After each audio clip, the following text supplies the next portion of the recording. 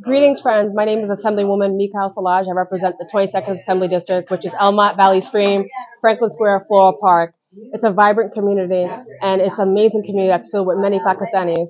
It's a pleasure to represent you in state government, where I fought for the Eid holiday uh, all throughout the state so that our students can be able to practice their religion without sacrificing school.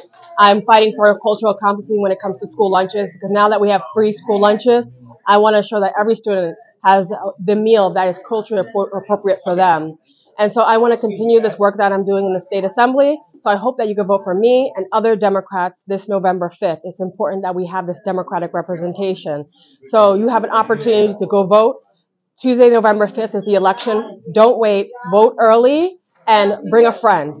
And I encourage you because it's important that as a community you have a voice and know that the, those who are representing you respect you, adore you, and will fight against any discrimination or hate that is in your community, especially Islamophobia. So I thank you all and I look forward to working and advocating with you. Don't forget to like, comment and subscribe.